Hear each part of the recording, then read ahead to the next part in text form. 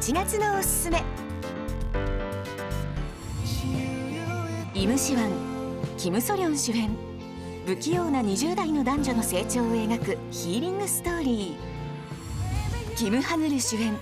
テレビショッピング界に生きる3人の女の命がけの戦いを描く極上の愛憎劇。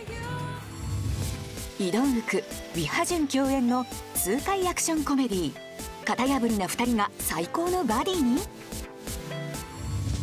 毒舌トークで有名なラジオスターにシャイニーのキーとミンホが出演。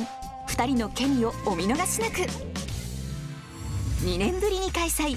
K p o p アイドルスタースポーツ選手権2022を日本初放送。そして5日には e スポーツも。ステージと違う姿は必見。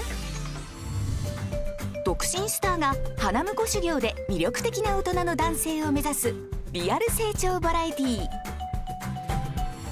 若手人気俳優として注目を集めているジェヒョグクの初来日ファンミーティングの模様を日本初放送。詳しくは KNTV ホームページへ。